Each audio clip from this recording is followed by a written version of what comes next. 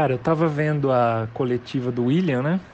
Meu, tem, sei lá, eu anotei até aqui as perguntas que os caras fizeram, os jornalistas, né?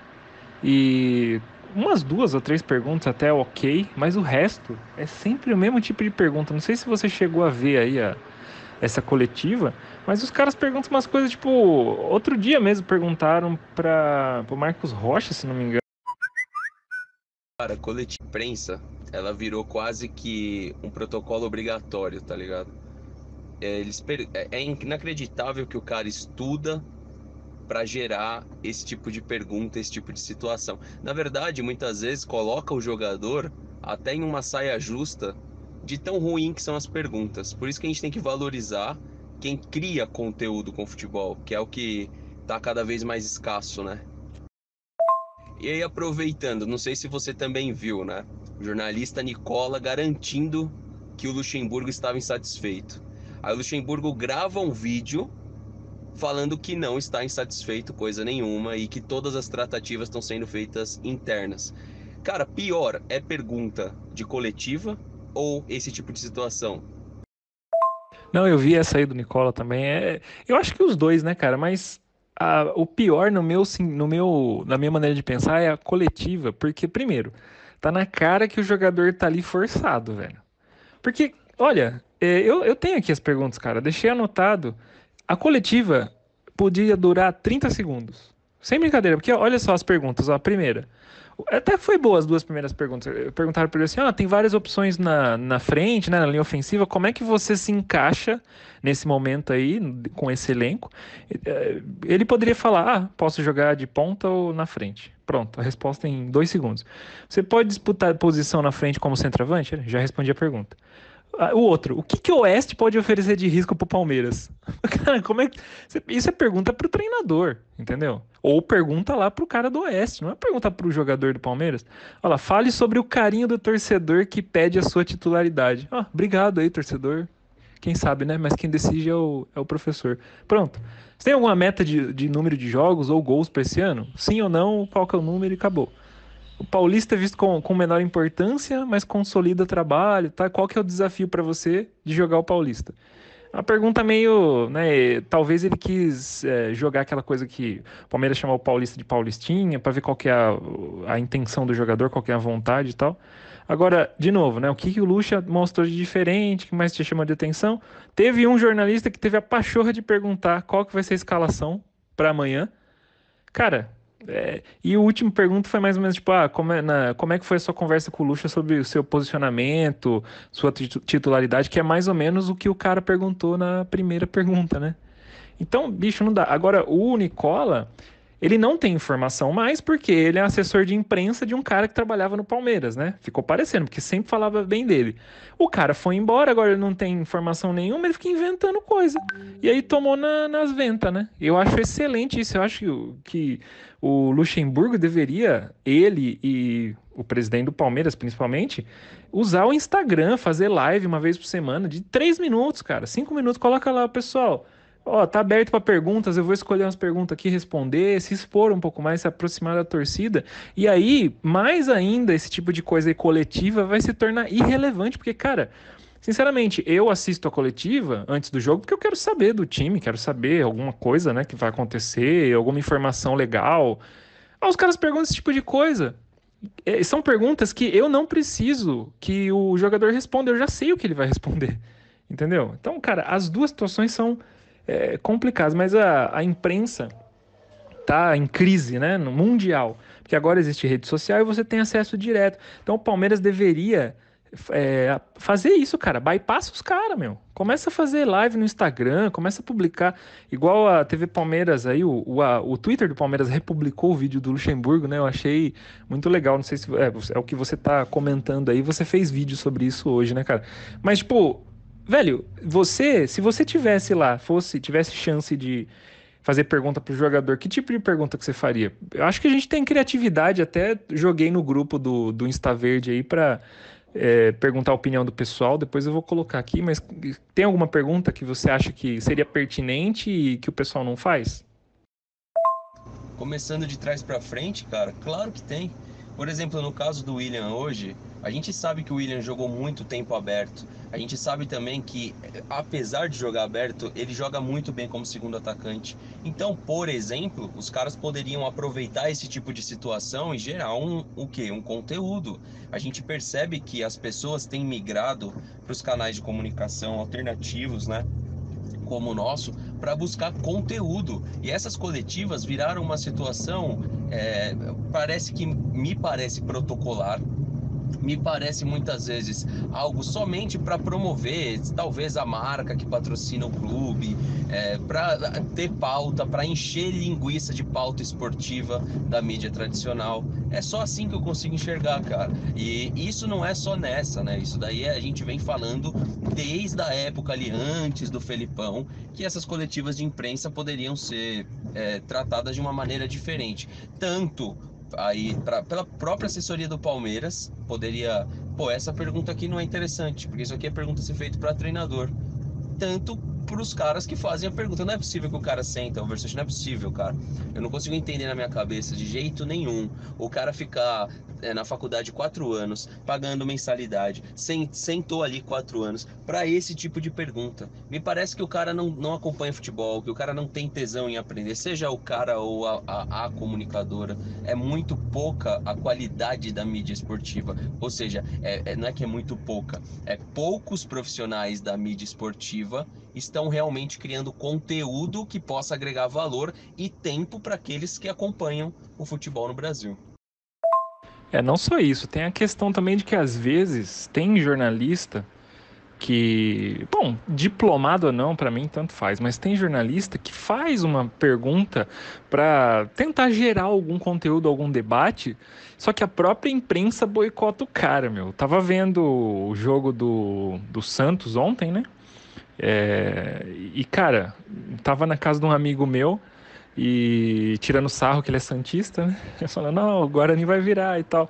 Aí acabou, depois eu vi um pedaço da, da, da entrevista lá, o Guipa, ele perguntou um negócio, só que publicaram em outros, outras mídias, uma parte da pergunta só cortaram, então pareceu que ele estava cutucando, comparando, né? No começo da pergunta, ele fala assim, ó, não, não que seja bom ou ruim, mas o Santos está jogando com menos intensidade do que anteriormente, né? Porque ele quis dizer, poxa, é, a torcida mesmo reclamou disso, tudo mais. Ele quis gerar um conteúdo em cima disso, falar o que que, que acontece, é, é, é decisão sua ou é por causa do início de temporada, tal. E aí o treinador já deu uma uma estourada, né? Aí fica parecendo que é o cara que falou groselha e tudo mais. Só que na, em outro canal publicaram só dali para frente, sem essa parte do ah, não tô dizendo se é bom ou ruim, entendeu? Então a própria imprensa quer puxar o tapete um dos outros, dos canais, né? Dos outros canais. Eu acho que algum clube vai fazer isso no futuro, né? Algum clube vai fazer, vai perceber que tem mercado e vai começar a dar espaço para canais do YouTube de palmeirenses, de outros times para participar dessas coletivas e deixar, por exemplo, você deixa o cara da ESPN perguntar e deixa o cara da mídia palestrina, e deixa um cara do Sport TV e um da mídia e assim vai. E aí, meu amigo, o ouvinte, que é o cliente, vai decidir. Ele que vai assistir no canal onde ele quiser.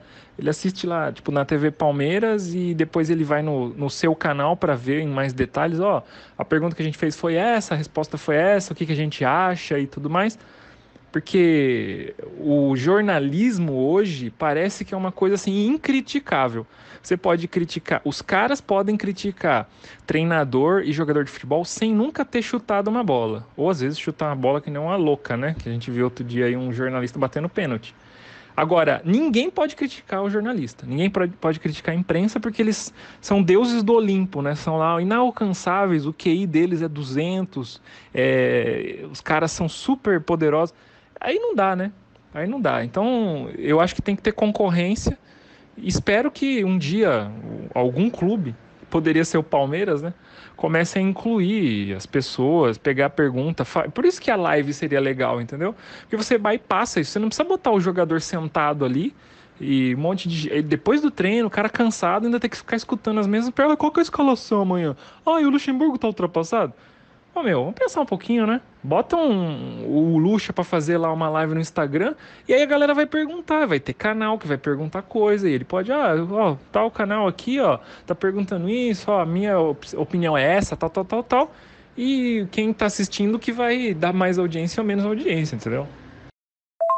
Aí só para complementar que ficou faltando, é, por exemplo, no arquivo que eu fiz hoje para o canal, tem um texto da ESPN na qual o Mauro César, sem embasamento nenhum, falando que o Palmeiras não marca em cima. Então, peraí, ele assistiu o jogo? Será que ele realmente assistiu? Ele, um cara tão ocupado, no aspas, assim, com jogos do Flamengo, com seus pós-jogos do canal dele. Será que ele realmente assistiu o clássico Palmeiras e São Paulo? Para ele trazer ali os seus argumentos na TV? Será que esses caras eles falam com propriedade, propriedade de todos os times? Será que eles assistem um terço dos jogos que eles comentam? Porque eu tenho um canal só do Palmeiras e eu vejo o quão difícil é acompanhar um, dois jogos, um jogo a mais aí que não seja do Palmeiras. Trabalho com aposta esportiva também, vejo o quanto é difícil você acompanhar jogos simultâneos que não sejam do seu time do coração. E aí o texto sugeria uma análise confrontando aquilo que o Luxemburgo está falando, que o Palmeiras está apresentando dentro de campo e que todos nós estamos vendo, e ao mesmo tempo a desinformação do jornalista em questão aí, que é o Nicola, que aquele é rei em trazer desinformação. Inclusive poderia ser citado na CPI da fake news do futebol. A gente poderia criar uma, inclusive. Então, mas já que você colocou o Guipe em questão, é um cara que eu vou falar a respeito de coisas que eu vi lá no perfil dele. Já também soltou muita coisa que não aconteceu. Então, beleza, uma coisa é uma coisa. Eu que tô falando, tá, rapaziada, que tá escutando o, o vídeo aí, que tá acompanhando o nosso podcast em um formato diferente, eu, Fernando, estou falando diretamente dele, do Guipa, certo? Agora, é realmente essa questão do, do técnico do Santos, assistir a coletiva completa, ter, ter descido ali meio que do, do tom, ou aumentado o tom, descido do salto, sei lá qual termo utilizar melhor aí. É, só que o que é intensidade? Intensidade para o Guipa é uma coisa, para o Gesualdo é outra.